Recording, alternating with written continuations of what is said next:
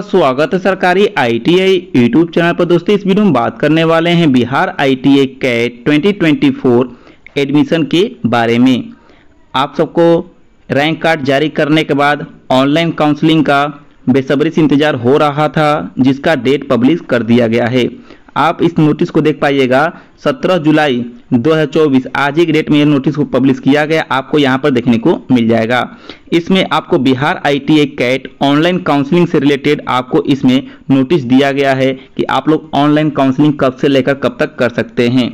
इस नोटिस को आपको वीडियो के डिस्क्रिप्शन बॉक्स में लिंक दिया जाएगा। आप वहाँ से डाउनलोड कर पाएँगे। अब चलिए बात कर लेते हैं कि आपका ऑनलाइन काउंसलिंग कब से कब तक किया जाएगा। आप यहाँ पर देख पाइएगा, Bihar ITI CAT online counselling का जो डेट है, आपको यहाँ पर दिया गया है।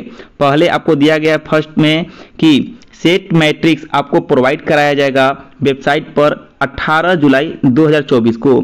सेट मैट्रिक्स क्या होता है, सबसे पहले आपको वो बता देते हैं। सेट मैट्रिक्स में आपको, आपके डिस्ट्रिक्ट में आपके ट्रेड में जो आपको ट्रेड चाहिए और आपका जो कैटेगरी है, उस कैटेगरी में कितना सीट अवेलेबल है, ताकि आपके रैंक के अनुसार पता चल पाए कि आपको वो ट्रेड मिल पाएगा या नहीं मिल पाएगा, आप लोग सेट मैट्रिक्स प्रोवाइड करा दिया जाएगा 28 18 जुलाई 2024 को तो आप वहाँ से चेक कर सकते हैं। इसके बाद आपको काउंसलिंग के लिए ऑनलाइन मौका दिया जाएगा।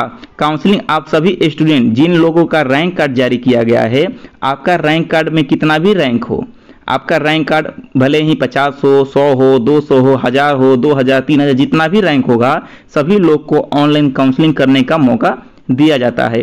ऑनलाइन काउंसलिंग करते वक्त आपको कोई भी फ़ीस पेमेंट नहीं करना होता है। इसका डेट देख पाइएगा आप लोग 22 जुलाई से लेकर आप 28 जुलाई तक ऑनलाइन काउंसलिंग कर सकते हैं। आपको यहाँ पर डेट देखने को मिल जाएगा। 22 जुलाई से लेकर 28 जुलाई तक आपको यहाँ पर डेट देखने को मिलेगा। इसके बाद यहाँ पर देख पाइएगा कि आपका फ़र्स्ट राउंड का अलॉटमेंट लेटर कब जारी किया जाएगा। तो आप देख पाइएगा एक अगस्त को जो आप ऑनलाइन काउंसलिंग कराएँगे ना तो उसका फ़र्स्ट राउंड का अलॉटमेंट लेटर जारी किया जाएगा एक अगस्त 2024 को। इसी अलॉटमेंट लेटर के माध्यम से आपको बताया जाएगा कि आपकी जो चॉइस फिलिंग हुआ था, उस समय आपने जो ट्रेड फिलअप किया था, आपके रैंक के अनुसार, आपके कैटेगरी के अनुसार, आपके डिस्ट्रिक्ट में जितना सीट अवेलेबल उसके अनुसार आपको कौन सा ट्रेड मिला है। यह कैसे होता है तो आपको आने वाले वीडियो में स्टेप बाय स्टेप सब समझाया जाएगा।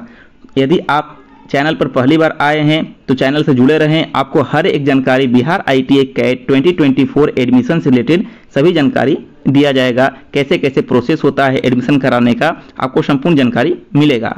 और उसके बाद आपका फ़र्स्ट टर्म का अलॉटमेंट लेटर जो है, आपका जारी कर दिया जाएगा एक अगस्त 2024 को। तो उसके बाद जो आप इसके लिए एडमिशन कराने के लिए जाइएगा। तो आपका एडमिशन जो होगा 2 अगस्त 2024 से लेकर 8 अगस्त 2024 तक आपका फ़र्स्ट राउंड के माध्यम से आपका एडमिशन कराया जाएगा। तो आप यहाँ पर देख पाइएगा सिक्स नंबर में आपको यहाँ पर दिया गया है।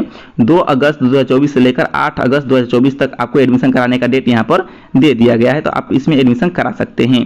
यदि बाई चांस मान लीजिए किसी का एडमिशन किसी कारणवश फ़र्स्ट राउंड में नहीं हो पाया तो उनको परेशान नहीं होना है। उनके लिए सेकेंड काउंसलिंग का मौका दिया जाएगा। सेकेंड राउंड का काउंसलिंग आप लोग ऑनलाइन चॉइस फिलिंग 16 अगस्त 2024 से लेकर करा सकते हैं। इसका जो है प्रोवाइड कराया जाएगा आपको रिज़ल्ट 16 अगस्त 2024 से लेकर सब 20 अगस्त 2024 तक कराया जाएगा। आपको सेकेंड राउंड के लिए कोई भी काउंसलिंग नहीं करना होता है। इसमें आपको सिर्फ़ और सिर्फ़ वेट करना होता है। सेकेंड राउंड के काउंसलिंग अलॉटमेंट लेटर का। जैसे ही अलॉटमेंट लेटर जारी कर दिया जाता है, उसके बाद आपका एडमिशन कराने के लिए डॉक्यूमेंट वेरिफिकेशन के लिए डेट जारी किया जाता है, जो कि यहाँ पर डेट देख पाइएगा।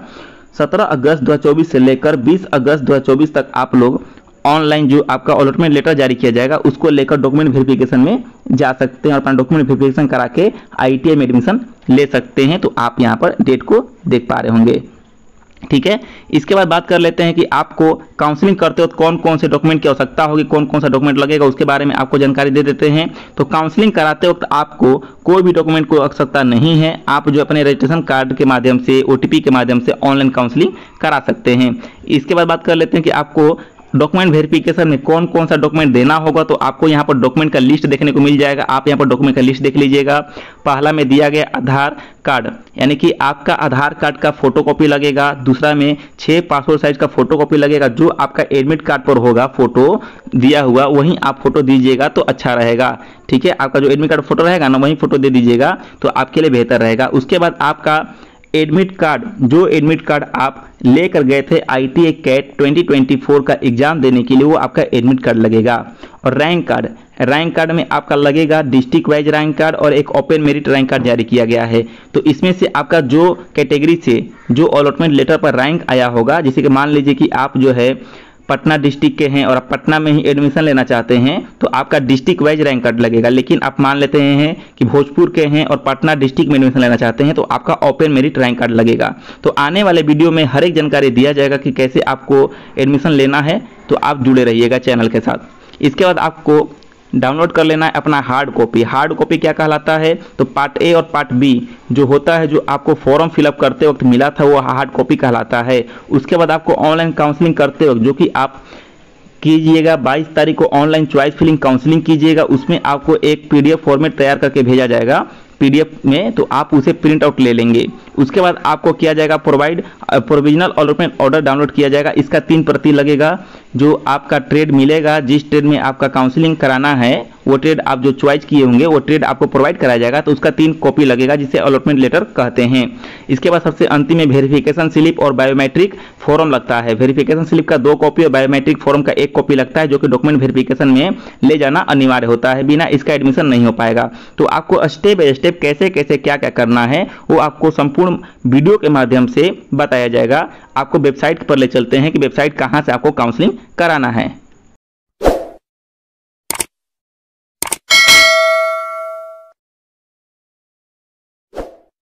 ऑनलाइन काउंसलिंग करने के लिए आपको बीसीसी बोर्ड के पेज पर आना होगा, जो कि काउंसलिंग कराते हैं। और यहाँ पर देख पाइएगा, सेशन 2024 का पोर्टल को लॉन्च कर दिया गया है। इसका लिंक आपको वीडियो के डिस्क्रिप्शन बॉक्स में बहुत जल्द प्रोवाइड करा दिया जाएगा। या तो आप इसका लिंक चाहते हैं, ऑनलाइन काउंसलिंग कैसे करना है, उसका वेबसाइट खोज रहे हैं तो आप जो है गूगल पर डब्ल्यू सरकारी आई डॉट इन सर्च करके आपको सबसे पहले में ही पेज दिखाई देगा। उस वेबसाइट पर जाकर आपको इसका लिंक प्रोवाइड रहेगा। आप वहाँ से काउंसलिंग पेज पर आ सकते हैं। इसका लिंक आपको 22 जुलाई को 22 जुलाई को आपका इसका लिंक एक्टिव कर दिया जाएगा। ठीक है? 22 जुलाई 2024 को आप देख पाइएगा। इस पेज को एक्टिव कर दिया जाएगा। इसी के माध्यम से आपका ऑनलाइन काउंसलिंग होगा।